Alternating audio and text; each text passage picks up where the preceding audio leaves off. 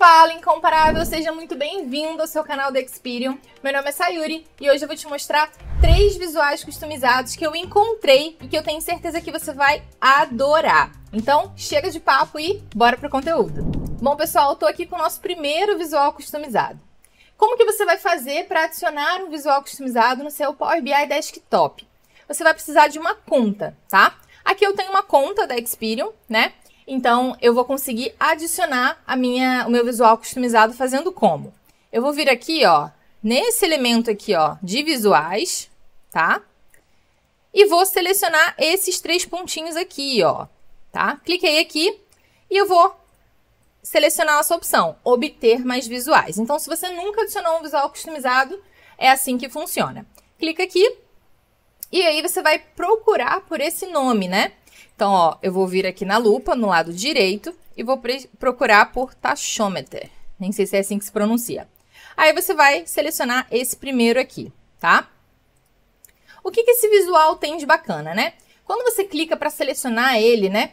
Você vai ver aqui, ó, que ele tá, que ele é certificado pela Microsoft, tem as avaliações ali, ó, as classificações. Então é sempre legal você, antes de adicionar no seu projeto, dar uma olhadinha no que, que o pessoal tá falando, se o pessoal tá gostando, né? Tem uma opção para você baixar a amostra, tá? Quando eu baixei a amostra não funcionou, mas como ele é facinho de configurar, deu super certo quando eu utilizei no projeto. E aí você clica nesse botão aqui, ó, para você adicionar no seu Power BI Desktop, tá? Se eu clicar aqui, ele vai dizer que eu já tenho esse visual, tá? Ó, já contém, eu posso atualizar, né, caso minha versão esteja desatualizada, por exemplo. Aí ele vai aparecer aqui embaixo, ó. Da, dessa linha para baixo são os visuais que eu fui adicionando no meu arquivo do Power BI. Mas se você for utilizar esse elemento, né, esse visual customizado, em outros projetos, se você quiser deixar ele acessível, você pode vir aqui com o botão direito, por exemplo, e clicar em fixar no painel de visualizações, ó. Se eu fizer isso, ele vai jogar esse visual customizado aqui para cima, tá? Ele é um visual gratuito, então você não precisa pagar nenhum tipo de licenciamento, né, por usuário, por exemplo, para você usar ele em produção. Então, tá tranquilo. O que, que eu achei de legal nesse, é, nesse visual customizado? É diferente do nosso gauge normalzinho, que tem já nativamente no Power BI, nesse tachometer aqui, a gente consegue colocar mais de uma meta né? Então é muito comum, principalmente na área comercial, a gente ter a meta, a super meta, a hiper meta e assim por diante. Então, aqui nesse tipo de visual, a gente consegue definir até três metas, tá? Então, o que, que eu fiz aqui, ó? Aqui eu trouxe como o principal valor, né? O valor do faturamento. E eu trouxe também aqui os valores de meta, super meta e hiper meta nesses três próximos itens aqui. Aqui em cima, eu adicionei o valor de início e o valor final, tá? Por quê? Porque eu quero que o meu início do meu gauge, né, ele comece no zero e o final termine no valor máximo possível desse faturamento. Então, eu poderia colocar como valor máximo o valor máximo de todo o período analisado, desconsiderando todos os filtros, por exemplo. Porque aí eu consigo saber, poxa, se um dia eu atingir esse valor, né, esse valor é um valor possível. Ou então não, eu quero o máximo do ano selecionado corrente. Pode ser também, tá? Então, o máximo e o mínimo, né, que é esse start value e end value, você define através das medidas. E aí aqui, ó, olha que bacana, você pode configurar ele por faixa, né? Então, a minha primeira faixa é a faixa da meta, né? Então, aqui, ó, você pode vir em range 1. Range 1 vai ser minha meta, então eu vou deixar a cor azul. Você pode aqui nesse thickness, né, diminuir a espessura dela ou aumentar a espessura dela, se você quiser, tá? Aqui eu vou deixar como zero, beleza? Range 2, a mesma coisa, você define uma cor específica. O range 3 também. E aqui o target. Você pode botar o seu target, por exemplo, sendo a meta 1, que é a meta que necessariamente os, é, o time comercial precisa bater, por exemplo. Eu deixei 100, tá? Mas você pode deixá-la configurada aqui para aparecer, beleza? É, que mais que a gente tem? A gente também tem esse indicator, então você pode mudar a cor, por exemplo, ó. Esse sinalzinho aqui, ó, que é onde o valor está batendo, então esse 6, é, 6, 6 milhões e 98, ele é exatamente essa posição. Você pode definir a cor dele. Eu deixei aqui como preto para equivaler aqui ao valor preto que está aqui embaixo. O que mais? Callout values. Também dá para você definir as cores. Dá para você definir também o percentual, ó. Se eu clicar aqui, ó, callout percent. O que, que você pode fazer? Eu vou deixar até de uma cor diferente. Vou deixar aqui de uma corzinha azul. Por que, que eu deixei azul? Porque eu quero saber qual o valor do meu atingimento em relação à minha meta, né? E aqui você pode colocar, ó, se você está usando, né, o primeiro range, que é a, a meta faturamento, range 2 ou range 3. Então aqui eu botei o target. Como o target é minha meta, eu deixei a mesma cor. Que, que eu senti falta nesse visual? Que eu pudesse mostrar todos esses visuais e todos esses elementos, né? Os valores e o nome aqui do ladinho. Mas como não tem, não tem problema. A gente pode adequar o nosso visual colocando esses, é, esses cards, ó. utilizei esse card de múltiplas linhas para trazer esses valores de meta, supermeta e hipermeta. E aí, o que, que eu fiz para facilitar a visão do meu usuário? Eu deixei a cor equivalente, né? Então, meta azul, super meta, esse outro tom, que eu falo azul, mas o Léo. Quer dizer, eu falo que é roxo, mas o Léo acha que é azul. E a hipermeta, que é o verdinho, tá? Bom, então aqui a gente tem o nosso primeiro visual customizado. Comenta aqui se você está gostando desses visuais. Eu, particularmente, eu achei bem legal esse daqui, principalmente quando a gente tem mais de uma meta. Esse outro visual aqui, para quem utilizava o Excel antigamente e agora passou a usar o Power BI, provavelmente deve ter sentido falta desse visual específico que não tem é, nativamente no Power BI. E eu achei bem legal. Eu tava fuçando, assim, né, o que, que a gente poderia trazer de legal nos nossos visuais, nos nossos dashboards, e eu achei bacana isso daqui. O que, que esse visual faz? A gente sabe que o nosso gráfico de pizza é, não é muito legal a gente colocar um monte de fatia neles, né? Porque não fica fácil de ver, chega uma hora que as fatias ficam tão pequenininhas que fica ilegível, né? Então, o que, que a gente geralmente faz? A gente pega as três principais, exibe, por exemplo, até três principais, e o restante a gente coloca numa categoria chamada outros, né? Então, aqui é exatamente isso que esse visual faz. O que, que a gente tem aqui como é, colunas, né? Categoria, eu trouxe o fornecedor da minha tabela de produto, e o valor, eu trouxe o meu valor de faturamento. E aí, o que, que a gente pode fazer? A gente pode definir aqui, ó, em outros, né? Ó, se você habilitar esse item outros, ó, vou desabilitar, tá? Habilitando, o que, que ele vai fazer? Você vai selecionar os top 2 para mostrar, né? E, e a terceira categoria, ele vai agrupar tudo em outros, né? Então, ó, deixa eu desmarcar como que ficaria, ó. Repara que Moinho, Dois Irmãos e Santa Rosa Alimentos são os que têm a maior parcela, né? Então, eles estão no meu top 2 de faturamento é, desses fornecedores. São os nossos do, dois top fornecedores que a gente tem. E aí, esse restante que tem aqui do lado, ó, a gente não quer mostrar porque não fica legal de visualizar nesse tipo de gráfico, tá? Você pode habilitar, então, esse outros e marcar esse top igual a 2 aqui e também renomear. Então, isso eu achei legal, ó. Esse, você não precisa escrever other, né, em inglês aqui, você pode manter outros em português e você pode definir a cor para essa categoria. Então, aqui eu defini a categoria verde para ficar diferente das outras, né? E o que mais que eu fiz de diferente? Eu trouxe aqui, ó, uma forma. Como eu não sou muito chegada em gráfico de pizza, né, que vai... O gráfico de pizza é assim, né? Eu vim aqui com uma forma no, no próprio Power BI mesmo e inseri essa bolinha aqui me, da mesma cor do meu fundo para parecer que isso aqui é um gráfico de rosca, tá? Mas isso é firula, não precisa necessariamente, você pode usar o gráfico de pizza sem problemas. Mas caso você queira deixar diferente, você pode fazer isso que eu fiz, ó. Então eu vim aqui em inserir, formas e adicionei essa forma aqui oval, tá?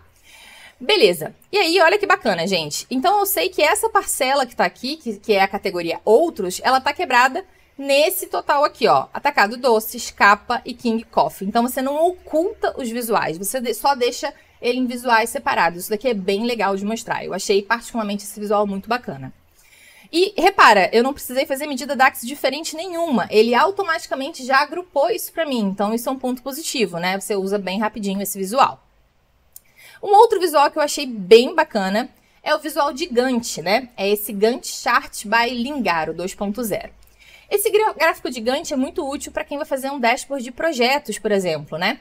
Então, o que, a gente tem na nossa base, ó? Eu trouxe uma base de exemplo parecida com o que o próprio visual disponibiliza. E aqui a gente tem uma coluna de portfólio, programa, o ID do projeto e desse ladinho aqui, ó, coloquei um status novo em português aqui, ó, status 2 que, que eu fiz? Aqui, esse P1, P2 são as minhas fases do meu projeto, né? P1, P2, início e fim, P2, P3 e assim por diante. E aí, o que, que eu fiz? Eu tenho um milestone, que é o quê? Quando eu defini o meu projeto, eu tinha um prazo máximo para cumprir, por exemplo, né? Aí eu trouxe essa data aqui, ó. Deixa eu até botar tudo como data para vocês verem a lógica por trás do, da definição, ó. Então, ó, vou trazer aqui esse P4, todo mundo para data. Beleza? Ó. Então, vamos supor que esse milestone nosso é como se fosse assim, ó. Quando a gente definiu o projeto, era, esse, esse era o prazo máximo que eu tinha para concluí-lo, tá? Então, a gente vai definir assim. E esse P1, P2, P3 e P4 são as minhas fases do projeto. Beleza? Eu não sei por que, que o Power BI até agora não deixou esse padrão de data como padrão, né? Que é, que é esse dia, mês e ano, assim, do jeito que eu tô deixando. Então, beleza, ó. Então, temos todas essas colunas. E aí, o que, que eu tenho? Ó? Tenho esse milestone. Qual o meu objetivo? Eu quero identificar no meu gráfico, quero marcar sempre quando eu tiver, é, quando eu tiver todas as fases completas aqui, eu quero comparar o meu milestone com a minha máxima data de todas essas fases, né?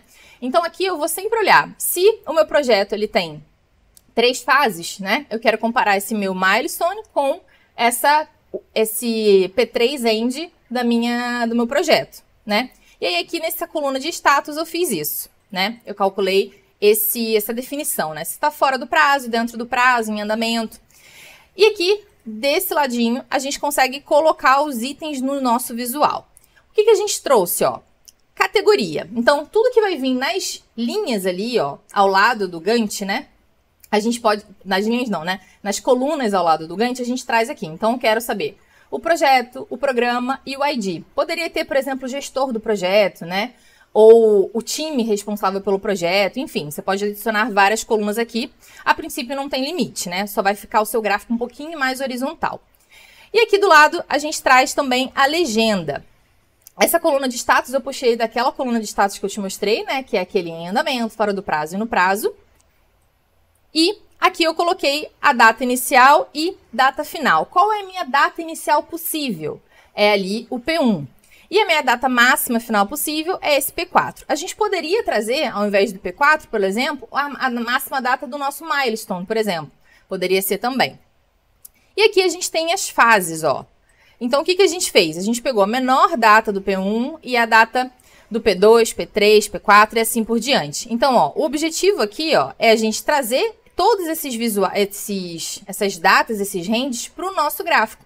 E aí, a gente também precisa definir aonde vai ficar esse milestone. O milestone aqui, como que ele é definido? Basicamente, você tem que trazer o campo que a gente colocou lá, aquela coluna, né, que eu calculei, ou a coluna que já vier na sua base de dados. Na verdade, a coluna eu não calculei não, já trouxe da base de dados. Você traz essa coluna e arrasta para cá, tá? Automaticamente ele vai deixar essa data mais recente aqui. Então, é, ele naturalmente vai pegar a, a, linha específica que a gente está definindo, tá? Ele não está fazendo conta de máximo, mínimo, nem nada. Ele só está trazendo o campo, mas por ser uma coluna, ele faz esse cálculo, entre aspas, automático. E aí, olha que bacana. Quando eu tô dentro do prazo, repara que o meu itemzinho do milestone, ele fica no meio das barrinhas, né? Então, ele tá certinho. Esse segundo aqui, ó, provavelmente ficou com alguma continha errada lá. Mas a princípio era para ser... Ah, ele deve estar tá dentro do prazo, ó. Vamos dar uma olhadinha? Esse Operations Investment PM05, ó. Vamos dar uma olhadinha PM05. Ó, aqui ele não terminou. Então, ó, eu comparei, ó. Eu verifiquei se ele tinha atingido as fases, né? Como ele não atingiu, ele ainda está em andamento, tá? Então, aqui ele não coloriu. Ah, eu botei em andamento em verde. Deixa eu mudar a cor que era para ficar, aqui ó, em andamento tem que ser amarelo. Pronto, agora sim. Agora melhorou. Então, ó, aqui ele está em andamento, porque o meu milestone está mais para frente e eu não terminei todas as fases. Esse daqui eu passei muito do prazo. Por quê? Porque o meu milestone estava aqui e olha quando o projeto terminou, né? Então aqui eu tenho uma clara visão de quando que ah, o meu projeto está bom ou está ruim. E eu achei bem fácil de configurar esse visual, né? Não tem muitas coisas para fazer e você ainda tem esse adicional, né? Esse plus que é ter esses status aqui, que não são todos os visuais gigantes que que a gente vê gratuitos que tem essa possibilidade, tá? Então, se você gostou desses visuais customizados, não esquece de deixar o seu like e se inscrever no canal para receber cada vez mais conteúdos bacanas sobre Power BI, dados, análise de dados, melhores práticas de visualização de dados e design, storytelling e muito mais. E ó, vou te dar uma dica. Vai rolar entre os dias 29 de julho e 2 de agosto um baita evento para você participar. É a imersão avançada BI de ponta a ponta. Então, se você quer aprender desde a extração de dados via API com Python, passando por SQL, BigQuery, DAX, visualização de dados, design, governança de dados e muito mais, não deixe de participar desse mega evento que a gente está preparando com muito carinho. Eu vou deixar o link para você se inscrever aqui na descrição. E também vou deixar o link para você acessar todos esses visuais customizados que eu acabei de mostrar, beleza? Te vejo numa próxima. Tchau, tchau!